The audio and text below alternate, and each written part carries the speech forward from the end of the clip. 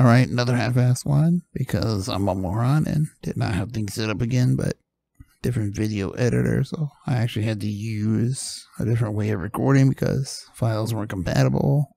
Don't know why, but here we are. So after figuring that out for the past few days, we get a half-assed track guide.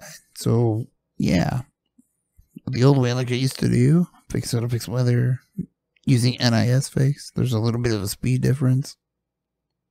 So I guess an A, A face, you can see anywhere from really high 26s, depending on the weather, or and in guess it's a little bit slower. So fast guys in the 27s, me not so much. So that's what we're gonna get. Only change I made was the brake bias down to 45, 4, something like that. Somewhere in that range. Let's just say high 45s. Not my greatest lap. Oh, I didn't speak about a keys to the race car. That ain't happening, so let's just say it's a really, really bumpy place. Easy to lock up.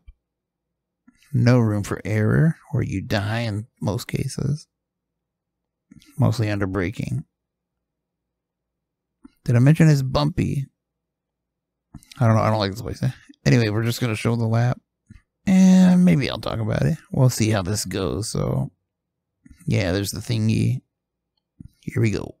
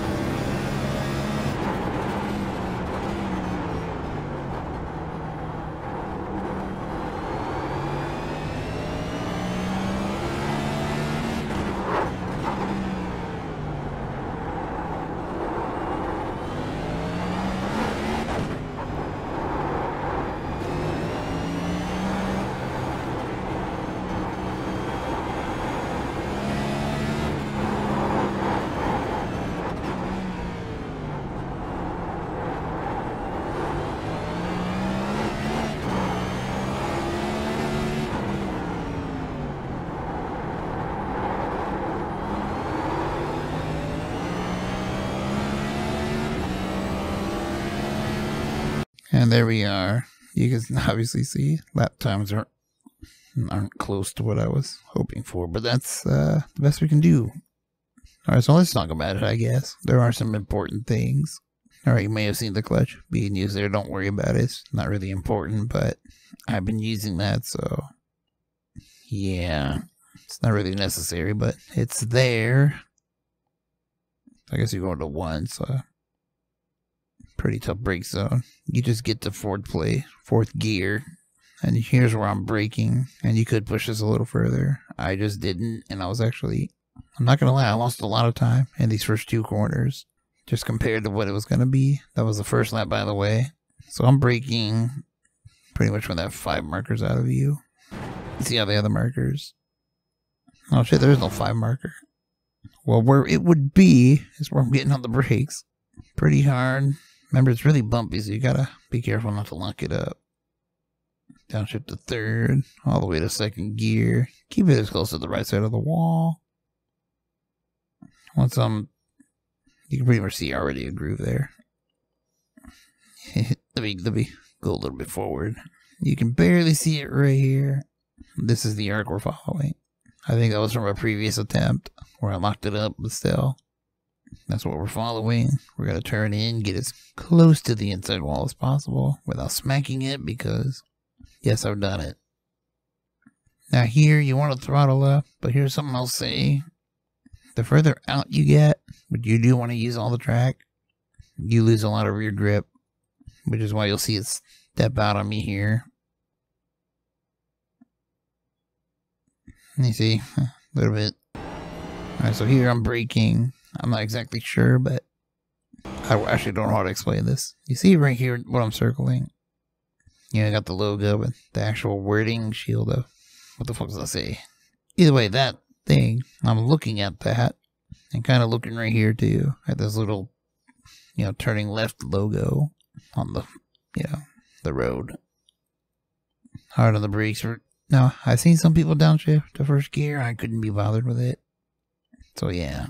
And another one, this is another one of those corners that you don't want to turn in too late because you need to be really close to this inside wall. There's a little bit of banking there, if you will. You want to throttle up as soon as you feel it. Rotate. If not, you'll be giving up some time, which I know I did. Like I said, I messed up those uh, first two corners. All the way up to fourth gear. Something you can't see here is really on edge through this section. And I'm going to start braking as soon as we get this left front close to the end of the Coca-Cola sign or logo.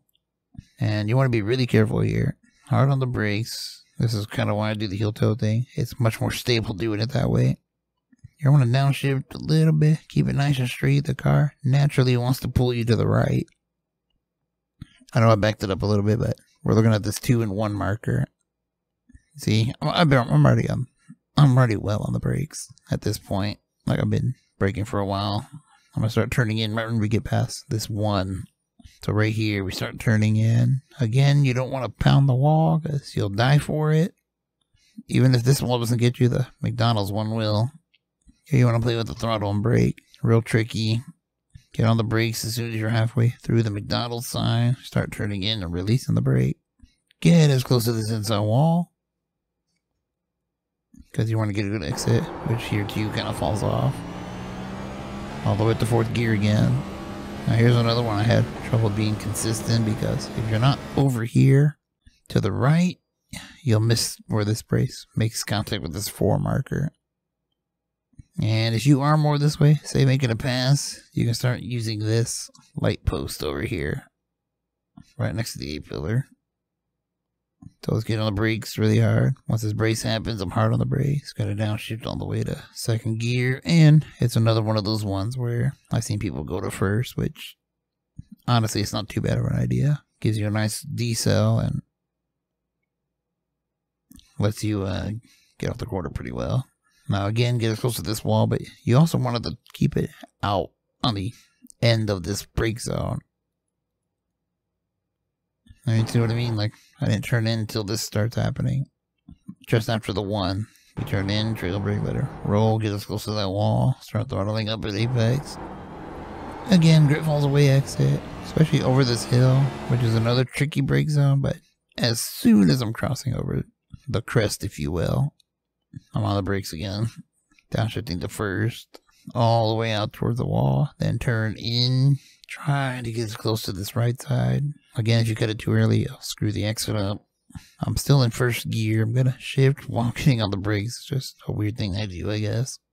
Get as close to that inside rail. Here you wanna kind of feel the car out for grip. Around 90 miles an hour, as far as you want to let it drop it, it kind of steps away because of all the bumps. It gets really weird through here, but you basically want to be as close to that left side wall. You see, they even on the side of the line. You just want to be there. This is where I'm throttling up, but you got to brake almost immediately. Just a touch. Well, I'm lifting actually. Get as close to the wall now. Here, I'm just going to say this is the worst section of the track for me because everything's bouncing. It's horrible. Let's play that at full speed. You see there, it's kind of out whack. You kind of want to be on throttle through here, but it's hard to. And that's where I'm losing time to faster guys. But we're getting on the brakes about once you get the car settled, I guess.